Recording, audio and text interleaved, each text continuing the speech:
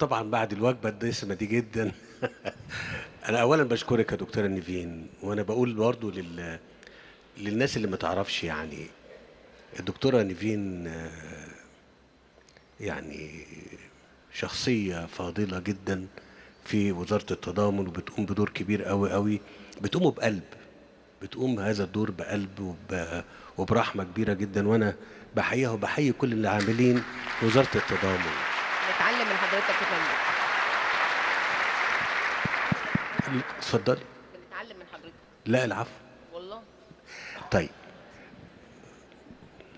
النقطة التانية خليني برضو من خلال ال- الفرصة دي إن إحنا نقدم كل التقدير والشكر للجمعيات الأهلية اللي بتقوم بدور كبير قوي في مجتمعنا. واسمحوا لي أقول إن إحنا بنقول ده عشان محدش ابدا يسيء للجمعيات ديت لأن ده جزء كبير جدا من جهدها مبني على ثقة الناس بيها. واللي قالته الدكتورة أيوه نسقف لهم. أيوه نسقف لهم.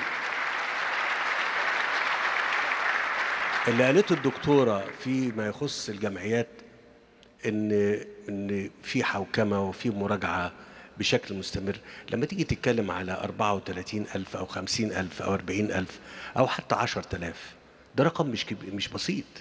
فعشان تراجعوا ولو حصل واحد في الألف خطأ واحد في الألف أنت بتتكلم في في في 40 ما بيحصلش. فلو أنا بقول الكلام ده لينا كلنا لوسائل الإعلام لمواقع التواصل لأنها في النهاية اللي أنت بتاع من غير ما تقصد وأنت آه، بتقصد تحمي المجتمع ما فيش كلام من ده. لكن عايز أقول إن وزاره التضامن بالميكنه اللي إحنا مهتمين بيها بقالنا مش أقل من سبع ثمان سنين مهتمين إن إحنا نميكن كل شيء اللي هي من خلالها نقدر نشوف ونشوف كويس كل شيء عشان يبقى حكمنا حكم صائب على الأداء وعلى الشفافية وعلى المصداقية وعلى ال- المسار اللي, اللي أي حد مش الجمعية فقط بتعمله. وبالتالي مهم جدا إن إحنا وإحنا بنتعامل مع ده آه، يعني نبقى عارفين إن بتقوم بدور آه، بالمناسبة. هتزعلي من الكلمة دي؟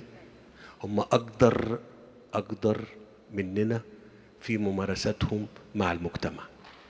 أنا بقول كلام يا دكتورة مظبوط؟ صحيح. هم هم أقرب للمجتمع وهم عارفين الأسر والتنسيق ما بيننا الحقيقة بي بي بينتج عمل مثمر جدا لكن هم شغلهم كفاية التطوع كفاية موارد مش بس مالية لكن مراقبة ومتابعة ميدانية. صحيح. النقطة اللي مل- يعني الملحوظة الوحيدة في كل العروض اللي تمت النهاردة وامبارح وقبل كده هو أنا شايف إن إحنا محتاجين نتكلم أكتر والإعلام يغطي أكتر ويبقى لينا مساحة أكبر آه، في ال في ال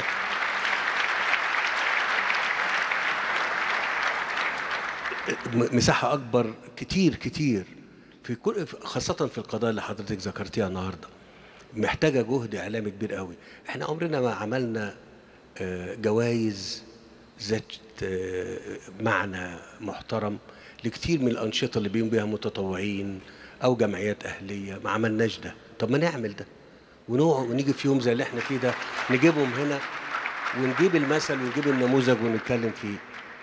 لو في دار أيتام من اللي شغالة نقول نعمل مسابقة بينهم ونقول أفضل دار أيتام آه، عملت كذا. أفضل مستشفى عملت كذا.